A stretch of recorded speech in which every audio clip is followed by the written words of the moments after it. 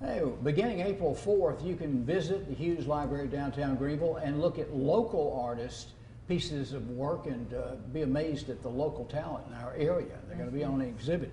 We've got Jed with us from the Greenville County Library System, and uh, Robert, our photographer, and our painter Destiny is here. Your work will be displayed. And uh, Jed, why don't you jump in and tell us how we can come and when it's going to happen? Yeah, absolutely. So the uh, exhibit starts this upcoming Monday, the 4th, and runs through May 27th.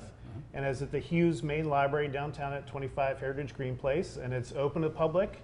We'll have it right there in the lobby of the library. So as soon as you walk in, you'll be able to see it. And it's a great opportunity to see some local art.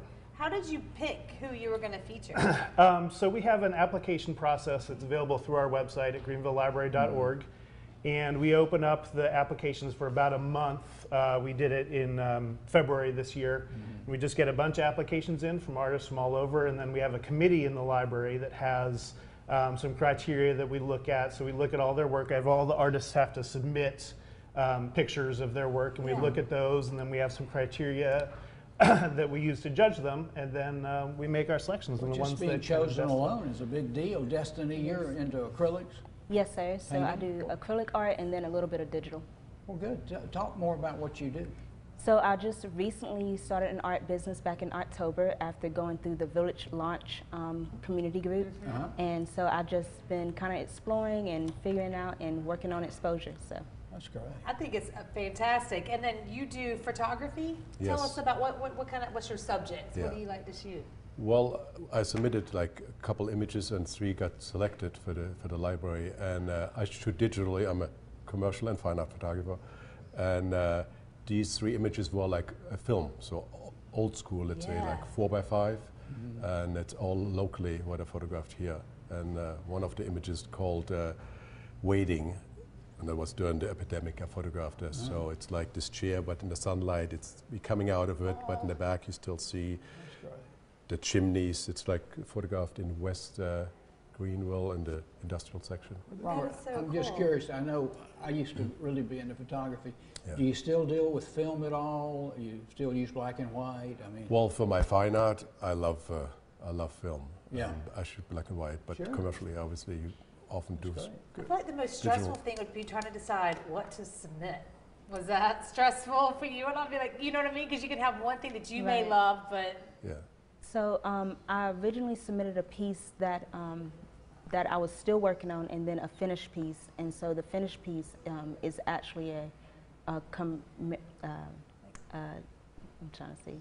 like a commemorative Yeah, piece? community Yeah. piece of the Nicholtown community, Oh. and um, honoring the women that um, built the Phyllis Sweets, Phyllis That's Wheatley. Oh, that's cool. yeah. Yeah, we just did a thing Yes. on them. Yeah. A couple- yeah, very Okay. cool. Jed, you Yeah. got to meet the artists, uh, get together for us to come. How Yeah. many artists will be there for us to mingle and mix with? All of the artists. So we selected four artists for this exhibit, and all of them will be there, um, including these two next to me here. Yeah. Um, and that'll be on uh, this upcoming Tuesday, the 5th, from 6:30 to 8. There they are up there.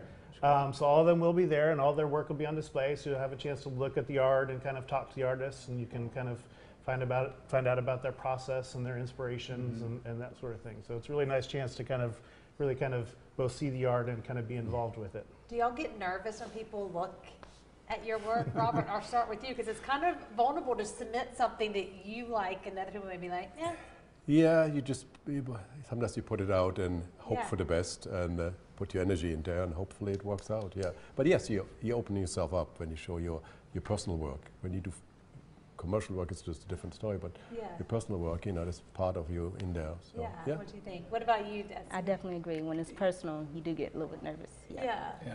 'cause it's, and then, Jed, finally, why was it important for the library to do something like this? You know, they're always doing something that's about more than just Books. reading books.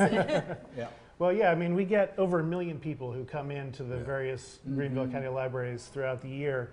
Um, and I think it's just a great way for artists, local artists, to support local artists in the community and give them some exposure um, to people who might not otherwise get the opportunity to view their work. And then it's just a great way for just to bring art and culture into into um, you know the lives of you know Greenville County Yeah. residents who come Yeah. into the library. I'd So like, I'd like to ask the artist, uh, do you sell your art? I mean, I do. You do? Yes, sir.